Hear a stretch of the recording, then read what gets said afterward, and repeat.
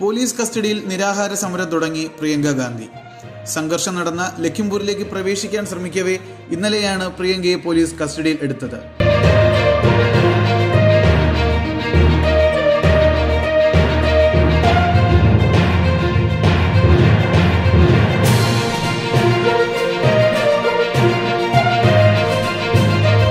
ലക്നൌവിൽ നിന്ന് അൻപത് കിലോമീറ്റർ അകലെയുള്ള സീതാംപൂരിലെ പോലീസ് ഗസ്റ്റ് ഹൗസിലാണ് പ്രിയങ്കയെ കസ്റ്റഡിയിൽ പാർപ്പിച്ചിരിക്കുന്നത്.